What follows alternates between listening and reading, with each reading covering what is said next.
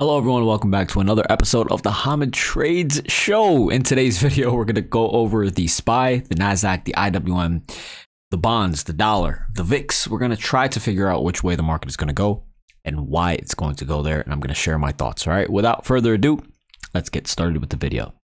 Number one, we've got some conflicting data. So the 30 year bonds generally are correlated to the overall market. So if the bonds are doing well, then the overall market is also doing well, right? But today we see that the bonds made a complete about face. They completely reversed from the very strong move that they had earlier um, yesterday, where we closed above resistance, and today they came back and fell lower. Okay, so now what we can do here is we can make a Fibonacci level from the swing lows to the swing highs. So for now, we can see that the bonds are holding the 38.2% fib. Generally, that is still a bullish retest. So it's not a complete, complete shattering of this upward momentum, right? But if we break below the 38.2 and specifically the 50% fib, that will start showing a lot of weakness in the bonds. And by that point, um, the stock market will most likely start taking uh, a consideration into the bonds weakness, and then the stock market will also start falling. So right now, obviously, the stock market had a bit of a green day, right? Sorry. Um, there we go. Had a bit of a green day, right? Uh, we reversed. So yesterday we had a big reversal, right? Today we reversed back up. We closed above the 38.2% fib for the first time in for the, for the first time this year. uh, and things are looking like, in my opinion, when you look at it from this standpoint, right? The momentum is still very, very strong. So the upside, at least tomorrow, in my opinion, I would be very, very, very shocked if we don't get a retest of 380, 392.50, which is going to be the 50% fib. I would be very, very shocked if we don't get a retest of that level. There's no macroeconomic news coming out tomorrow. Uh, CPI data comes out on Thursday. We already had the Fed, uh, you know, the, the the board meeting with the Europeans today. So uh, there's nothing really that's going to affect the market. Um, yeah, I just had to recheck uh, to see just in case if there was any news coming out tomorrow, and there isn't. So because that's the case, I do very very strongly believe that we should retest 392.50 at the very least and basically we should get closer to this high here 393.70 um it's almost like it would be very like it would not really even make sense for us to start like without testing the upper levels first without testing 392 first if we don't even test 392 like i would be shocked if we like gap down and just never like even come close to these levels here so that's my opinion um if even if we were holding something overnight, which we're not, right? I would be long overnight, 100%. Like this sort of setup is uh it's asking to get a retest to the upper levels of resistance. And to piggyback off this, right? We can take a look at the dollar and the dollar is continuing to show weakness. So we know that uh basically the dollar and the stock market have an inverse relationship. So if the dollar is doing poorly, then the stock market is basically doing well. So, in my opinion, the dollar still looks very weak. It's not, this is not a longing opportunity on the dollar. This is basically a setup where you get a you get a retest of levels of resistance so you could go back short again. So if that's the case for the dollar, then and if the dollar is going to continue falling, in my opinion, right? Then that means that the stock market should go up. And I think that is what can end up happening. And um, we checked in yesterday's video in the past, you know, uh, while there was weakness in the dollar, what was happening with the stock market. And we saw that the stock market was very, very strong. So um, let's see if that could be a repeat of what ends up happening here. And also, originally, one of the main reasons why I was bullish on the SPY down here. Um, I believe I made a video somewhere down here, somewhere, right? Where we were trading like very close to 380. And I was saying that I would be very surprised if uh, we end up falling lower. And that was so I was very bullish down here. I was I was expecting us to get a pop, a pop. So the main reason for that was because the international markets were very very strong. So now when taking a look at what's going on in the international markets, right? Take a look at the German markets.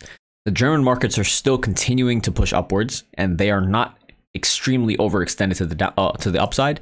You can see that they're still not really that far away from the Bollinger Bands. So it's not like we're opening outside of the Bollinger Bands and then pushing on upwards. That would be extreme overextension to the upside. And you know that if we, you know, if we open outside of the uh, lower level of the Bollinger Bands on the SPY, for example, that's a very good buying opportunity. If we open outside of the upper level on the Bollinger Bands, that's a very good shorting opportunity. But we are not yet overextended completely on the German markets. So German markets still look pretty good.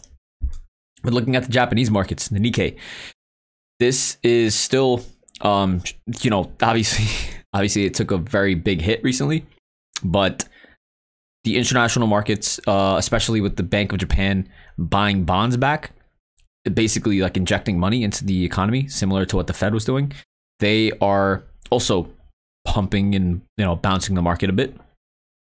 The English markets, you can see that there is still a lot more room to go for it to become very overextended to the upside. So we saw what happened um, yesterday, where the uh, where we opened outside of the uh, where we opened outside of the upper level of the Bollinger Band here. We ended up. This was basically a good shorting opportunity, right? Similar to what I was just saying, and we fell. Instead of continuing to fall, what ended up happening was we bounced right back up. So now the UK markets can end up continuing upwards as well. If we get a re- if we get a break above this high here, then uh, this can just continue going up, and then the UK markets will have a pretty big influence on the German markets, and uh, that would be very interesting to see what happens because uh, this is still like a this is a bullish setup. There's no automatic reason to be bearish just yet on the UK markets. And then, of course, when you take a look at the Chinese markets, uh, the Chinese markets bounced very, very heavily and are still continuing to show a lot of strength. Uh, Cramer is bearish on the Chinese markets, so that means the Chinese markets are probably going to end up uh, like doubling in the past. No, I'm just kidding. But yeah, no. So the Chinese markets, the German markets, the Japanese markets, and the UK markets are all very, very strong and uh, that's another reason why you know I think the overall stock market can continue going up. It's a good start to the year. Um, I do think that we can get at least 392. I'd be very very shocked. And then of course, when taking a look at like the large tech stocks, we can see that they're still they don't look entirely bearish. So for example, Apple doesn't look terrible. Amazon did really really well. Microsoft doesn't look terrible either um, it's still moving upwards. Nvidia doesn't look terrible. AMD, of course, similar to Nvidia. Tesla had a big bounce upwards. Um, you know, stagnating a bit. Facebook doing doing really, sorry doing really well, and um, yeah, I mean these tech stocks are not getting beaten down. Right. So if the tech stocks are still showing some sort of strength and holding support really well, then that means that there's still more room to go to the upside. So for those reasons, um, and especially the fact that the IWM is just continuing to show a lot of strength, and um, you know the IWM just you know it's just going to continue going up. Uh, the upper level of the Bollinger Bands of the IWM are pointed upwards as well. So that means that uh, there's a lot more room to the upside for it to become overextended to the upside. So that means that there's more room to the upside. And, uh, you know, the fact that all of these large tech stocks are either showing strength or holding support, that means that there's a lot more room to the upside relative in the tech in, uh, in the tech sector because it becomes a better uh, buying opportunity, more percentage gain potential to the upside for tech. And uh, it'd be very interesting to see if this continues upward. So um, in terms of the Qs, I believe we should get a retest of at least 273, 274 tomorrow. At least 274 tomorrow. I'd be very shocked if we don't. Uh, for the IWM, uh, 180, 180, 150 should be a level that we do retest tomorrow at least. Um, basically, we should get a retest. We should bounce like maybe like another percentage at least across the board, like at least half a percentage to a percentage at least uh, across the board. And then once we hit this 50% fib, so we're gonna have to keep an eye on the SPY, right? Once it gets close to this 50% fib, especially at these highs here at 390, 370, that's when things are gonna have to make a decision. Um, and depending on how the international markets are, as well as depending on if the bonds end up breaking below this zone here, the 38.2% fib zone and the 50% fib zone. So if we are still trading above here on the bonds, and uh, it even if like the international markets had a bit of a stagnation day, if the bonds can hold support and the stock market is continuing to show a lot of strength, you know, uh, yeah, you know, I, I do think I would be bullish. I mean, I, I do think that the move should be bullish tomorrow. We should have some sort of a move upwards. I would be shocked, to be honest. But of course, you know, um, I could be wrong. So yeah, there's that. I hope you guys enjoyed today's video. Uh, if you guys enjoyed, please make sure to subscribe, like the video, comment on the video, and do all that good stuff. I really, really appreciate it. Thank you so much. Have a good one. Thank you.